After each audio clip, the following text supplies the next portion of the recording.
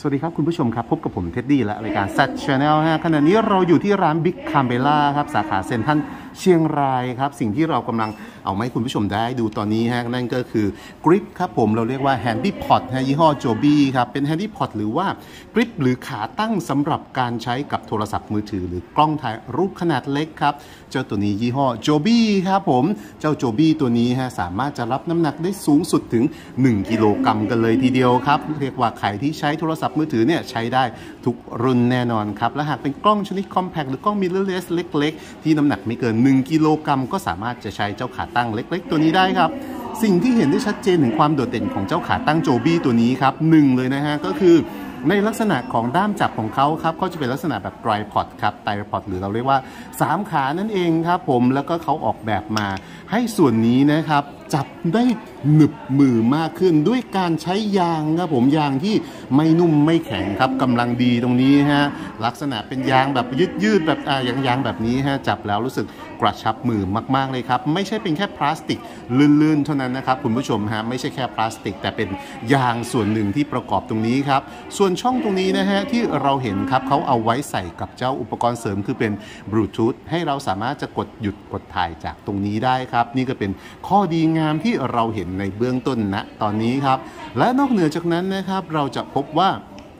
การล็อกในส่วนของหัวของเขาตรงนี้นะครับ ใช้วิธีกดที่ปุ่มตรงนี้ครับเขาสามารถล็อกได้แน่นมากเลยนะ เราพยายามขยับขยับตรงนี้ไม่ขยับเลยนะครับผมเราต้องกดปุ่มนี้ออกมาก่อนฮะกดปุ่มตรงนี้มาปุ๊บถึงจะขยับเจ้าหัวบอลตรงนี้ได้ครับ ขยับได้หลอบทิศทางแบบนี้เลยครับและสิ่งที่ดีงามอีกอย่างหนึ่งก็คือ หากใครชอบถ่ายนะครับ คลิปวิดีโอในแนวตั้งครับ ก็สามารถจะกดเจ้าตัวนี้ แล้วก็ปรับหัวบอลตรงนี้ ให้ถ่ายคลิปวิดีโอในแนวตั้งได้เลยครับ ทั้งโทรศัพท์มือถือและกล้องถ่ายรูป แต่ต้องบอกไว้ก่อนว่าวิธีการถ่ายแนวตั้งแบบนี้ เหมาะกับการใช้โทรศัพท์มือถือมากกว่าครับ เนื่องจากว่าฮะสมดุลของเขาเวลาที่เราถ่ายครับเจ้าตรงนี้เขาจะมาอยู่ในช่วงระหว่างที่เป็นตรงอ้าๆนี่พอดีเลยนะ พอเราใส่อะไรที่มันหนักๆอะมันก็จะหัวทิ่มลงมาตรงนี้ครับลองกับกล้องถ่ายรูปแล้วหัวทิ่มแต่ว่าหากเป็นโทรศัพท์มือถือที่ไม่ใหญ่มากนี่เอาอยู่เลยครับคุณผู้ชมครับผม เจ้าตัวนี้ราคา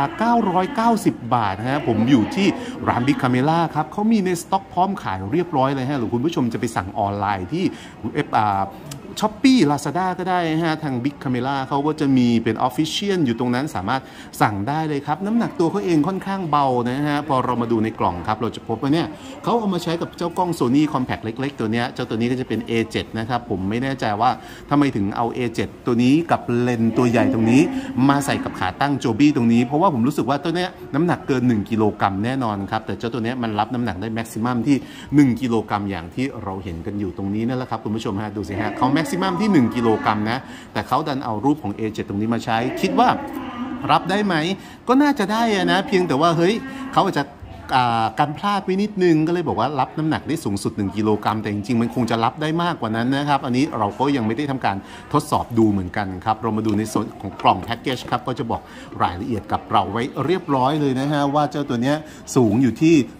14.7เซนติเมตรนะครับผมขณะที่กลางขานะ แต่หากว่าหุบขาเนี่ยทำเป็นด้ามจับแบบนี้นะครับจะสูงสุดอยู่ที่ 19เซนติเมตรกันเลยทีเดียวครับใช้เกลียวขนาดเซต1ส่วน4นิ้วฮะก็เป็นเกลียวขนาดมาตรฐานทั่วๆไปครับเอามาต่อไมโครโฟน ต่อกล้องขนาดใหญ่มิลเลอร์เลสนะฮะ ต่อกล้องคอมแพคหรือว่าจะใช้กับ GoPro ใช้กับโทรศัพท์มือถือนี่ได้แน่นอนเลยครับ ในกล่องนะฮะก็จะมีมาแค่เท่าที่เห็นเนี่ยแหละ จะไม่มีตัวกริปหนีบโทรศัพท์มือถือมาให้ด้วยครับ ก็ต้องไปซื้อเพิ่มกันเอง อีกตั้งหากนะฮะก็เป็นตัวหนึ่งที่เฮ้ยเหมาะมากเวลาจับถือเนี่ยนะมันจะพอดีมือมาก ๆเลยครับคุณผู้ชมฮะใครที่คิดว่าเฮ้ยมีสักตัวเดียวเอาไว้ใช้งานเนี่ยเจ้าโจบีตัวนี้ผมว่าตอบโจทย์เลยทีเดียวครับผมมีข้อดีกว่าแมนฟัตโต้ตัวเล็ก ๆ ก็คือตรงนี้แหละ ที่บอกว่าครับว่าเขาสามารถที่จะพับลงมาแบบให้เราถ่ายแนวตั้งได้ โดยไม่ต้องที่จะสลับถอดเข้าถอดออกครับ ผมเป็นอุปกรณ์ตัวหนึ่งที่สร้างความสะดวกให้กับเรามาก ๆ เลยครับ และสำหรับวันนี้ฮะต้องขอบคุณ Big Camera ครับ สาขาเซ็นทรัลเชียงรายฮะที่อนุญาตให้